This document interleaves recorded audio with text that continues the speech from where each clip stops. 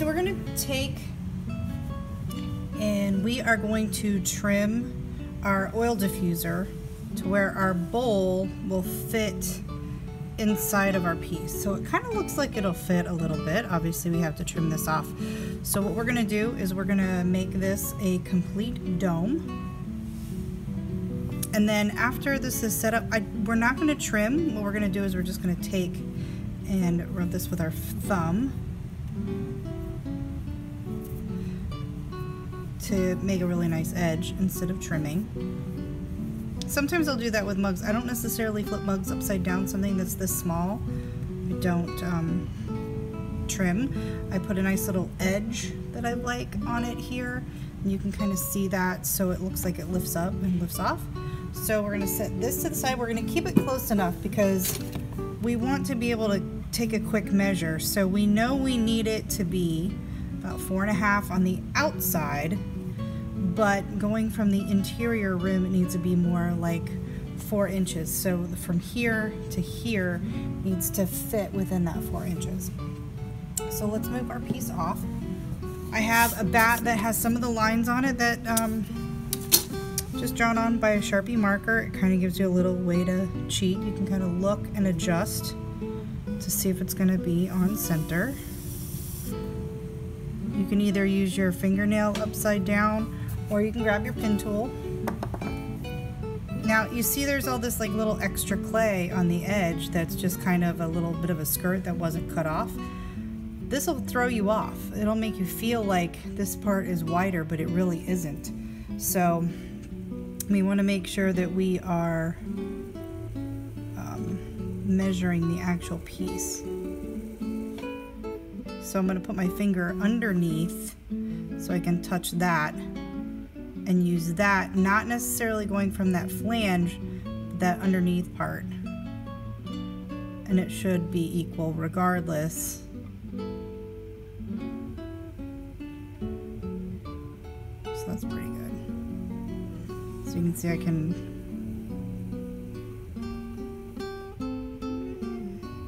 right there it needs to move just a little bit. Okay, so we're gonna clean all that up.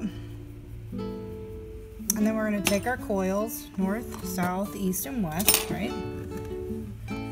We're going to hold our piece down, wrap it around, and then push straight down on a half. Because we don't want our piece to actually stick to um, our little slug. We don't want it to stick to our piece. We just want to keep it secure.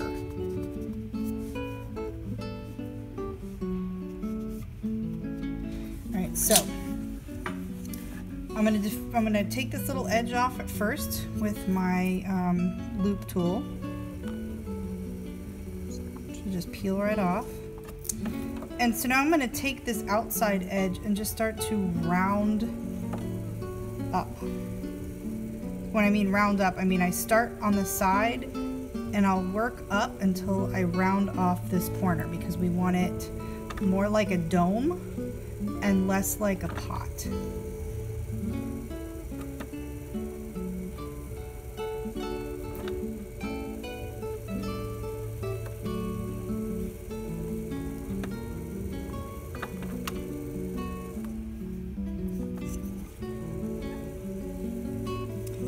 So I know that I need for this part how it kind of angles in right in here and in here so I want to try and match that shape this way. So I'm going to push in and then push and round again as I go up. One way to kind of check, you can take and turn this upside down see if it fits. If it feels kind of funky, like it doesn't really sit in, you can trim a little bit more. You always want to tap to make sure. That's why on these you want to throw them a little bit thicker so you have a little wiggle room. And plus, you got flame on it, so a little bit of a light flame.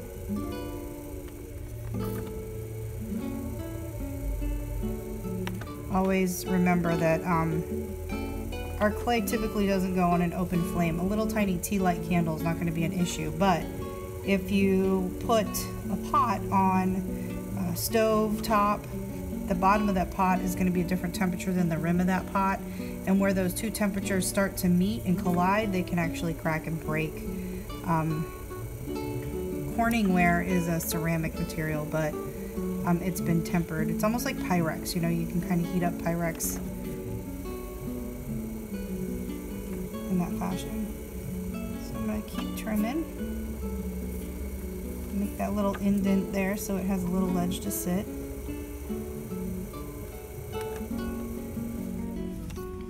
Easily trim through this because it's just, like I said, I, I used to hate trimming. And it slowly became my favorite thing. Especially when you get a good tool that cuts and it just peels right off. It's a thing of beauty. Alright, so now let's turn this upside down and sit it on there. And it, it looks like it fits pretty well. Um, if you want it to fit a little bit more, um, a little bit deeper, you can roll back the top of, we're not moving the, the, the actual snugability, I guess you could say, of the, um, what a made up word, uh, of the coil. We just want to pull it back so we can kind of expose that clay a little bit on that edge and then smooth that out make it looks talk to one another a little bit better.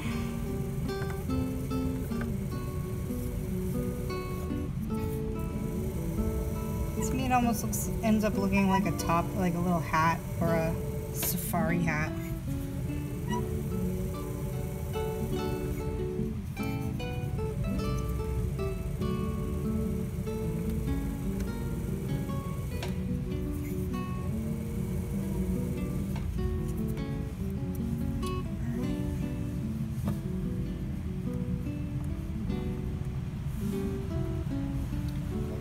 little bit more.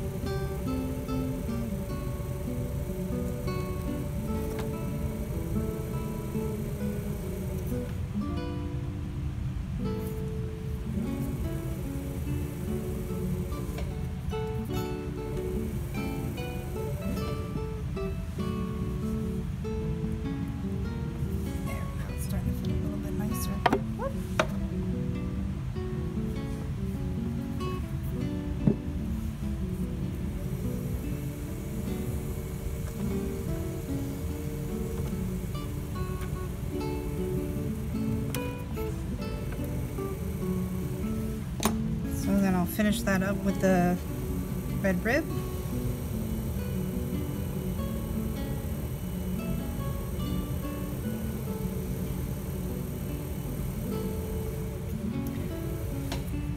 And we'll peel this back to reveal our little safari hat. Right. And then we can see it'll just fit right on inside.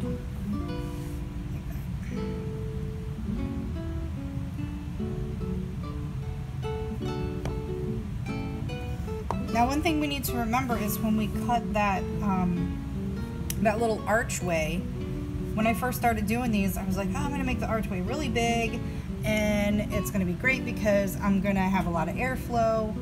And then I cut it so big that you could see the bottom of the bowl from the inside and it didn't look that great. So I started going a little bit lower and wider and making um, holes on the inside.